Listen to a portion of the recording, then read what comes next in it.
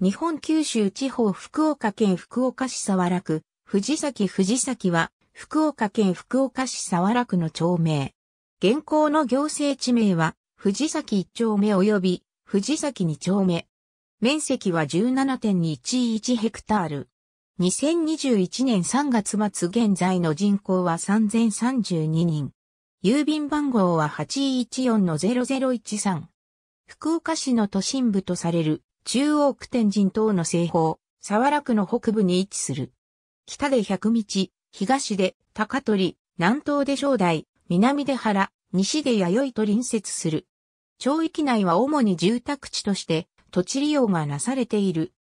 近接する西陣ほどは繁華ではないものの、地下鉄の駅周辺には西陣まで続く、いわゆる西陣商店街の西側の入り口があるほか、北側の明治通り沿線や西側の原通りには、銀行、医院、商業施設なども立地する。地域住民が認識する広域的な藤崎地域としては、町名の藤崎よりも広く、周辺の桃地、高取、弥生など地下鉄藤崎駅から徒歩10分程度の地域を指すことが多い。藤崎2丁目に金屑川の支流である塩入川が横断している。都市計画に関しては、福岡市都市計画マスタープランにおいて、藤崎に西陣及びシーサイドも持ちを合わせた地域は、都心部を取り巻く東部、南部、西部の3つの広域拠点のうち、西部広域拠点として位置づけられている。用途地域は、北側の明治通りの道路境界線から南側おおむね30メートルの範囲は商業地域、西側の原通りからの道路境界線から東側おおむね50メートルの範囲は第2種住居地域、これら以外の範囲は第1種住居地域に指定されている。